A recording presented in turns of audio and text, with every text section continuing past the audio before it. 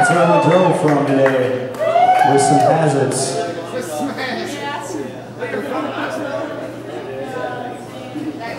So the interesting thing is, the reason we got saved earlier when the bus quit on us was because the guy that pulled over thought Smitty was a girl and, and he was in distress.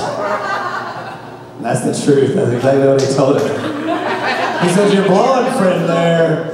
I thought it was a girl, and so I pulled over. I didn't realize it was a bus full of hippies. so Smitty saved us. Those beautiful golden locks.